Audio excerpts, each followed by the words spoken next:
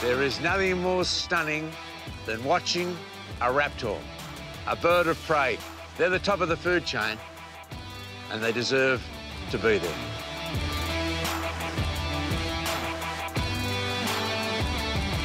Oh, I love that.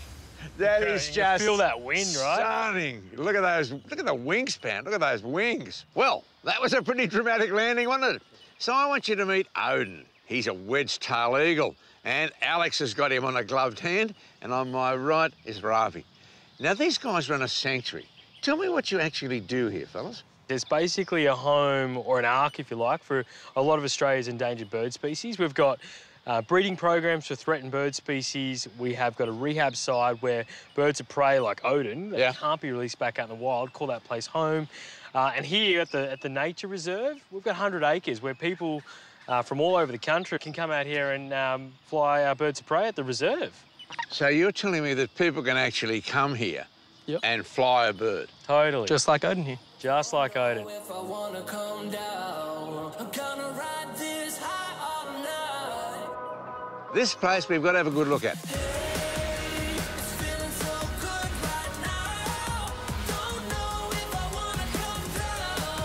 You know, the idea of working with animals and connecting with them and building relationships, you know, created a sanctuary that we're all quite proud of. We're dealing these days all over the world, not just in Australia, with so many species that we have so few left to breed from. We've got uh, some nocturnal species that we fly, some owl species as well. And you can fly them during the day. We can fly them during the day. They're very opportunistic. Let's go fly some owls. Let's go. Let's go. Now fly some owls.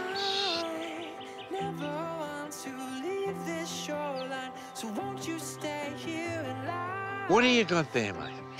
Little baby sooty owl. A sooty owl. Okay. Now, she's very noisy. Very noisy because she's a baby. Yeah. So this is just her letting me know, because apparently I'm mum. Um, I want food. This is an orphan bird, hand raised, isn't it? Now, the parents of this particular owl have had a few few rounds at trying to be parents, but they're not successful parents. So we had to intervene and hand raise uh, this little baby sooty owls.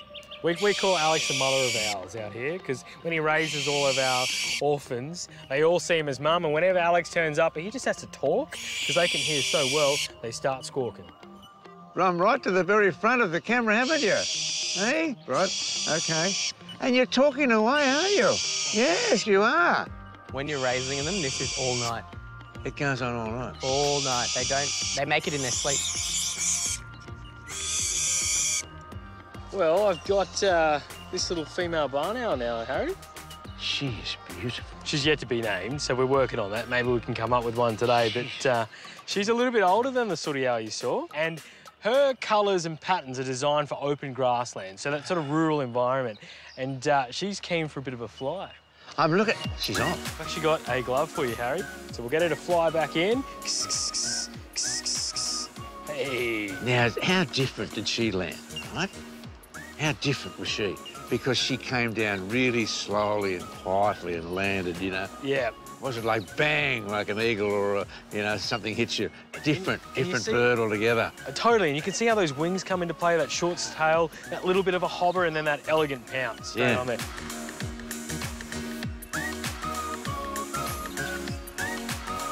Hey, nice done. There's no risk they're stunning, right? The colour is amazing. And, you know, everybody expects macaws to be giants like this, but of course there's lots of different species and some are quite small. Yeah, totally. Look, this is red. He's a scarlet macaw. Yeah.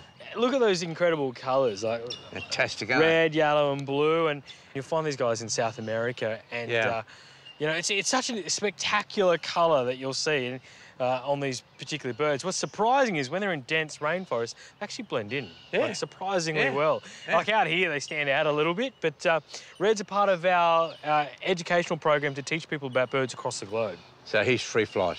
We've got a few other birds in the flock. Do you want to meet some of the other birds? Yeah, absolutely. How many altogether? Oh, man, I'll keep it a surprise, okay? But with this rain, I reckon we'll see a couple of black cockatoos. They're beautiful. Beautiful. Hey, Run a bit more. Okay, there you go. All right. There you go. Okay, what about you? All right. So you can pick the females with the yellow spotting around the head and the bars on the tail, whereas the males like this one No spotting and a solid red tail underneath. Black cockatoo politics is a whole new world, Harry. I, I, they are just the greatest Australian parrot going, right? Their attitude is amazing. These females are huge, Yeah, they're massive. eh? huge. You have to pick my number one bird. Give me a red tail black any day of the week. They are sensational. Home. Come on. Come on. Home. But anybody watching that, they would have to think it's spectacular. So I'm going to ask you the secret, okay? How did you get the birds down here in the first place? But more importantly, why didn't they fly away? And why did they go back home? They're extremely intelligent. Teaching them to fly is already natural. It's just building that relationship. And we use their favourite reward. So it's lots of little steps. And um, over the years, we've kind of perfected it. And, you know, they respond really well.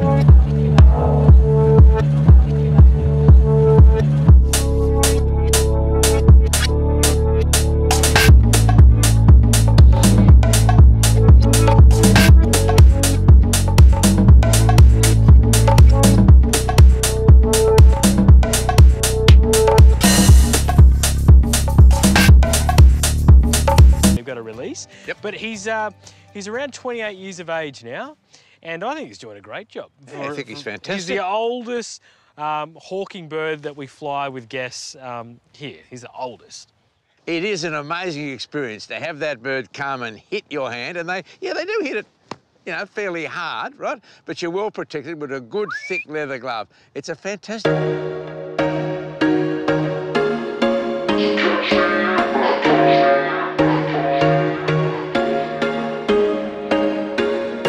Was once a day that I would pray for you. I'd go and misbehave just so you'd notice too. Sneaking looks up and down from across the room. And Damn, what a hell of a view. I feel good, you look great. I like you, I can't wait. A first time, a first date. You're so fine, I'm so late. You sip wine, I drink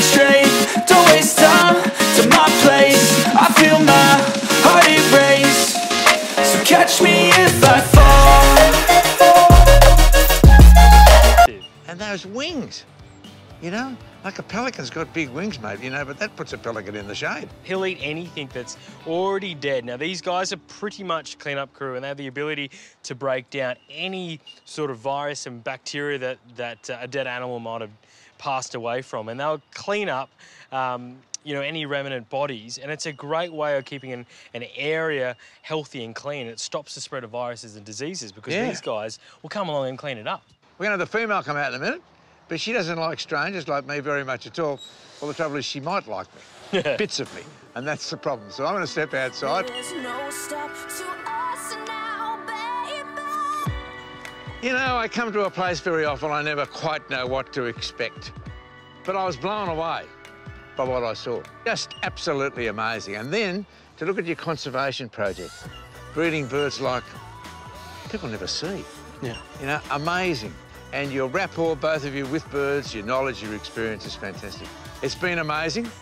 But I'll tell you one more thing. I'll be back.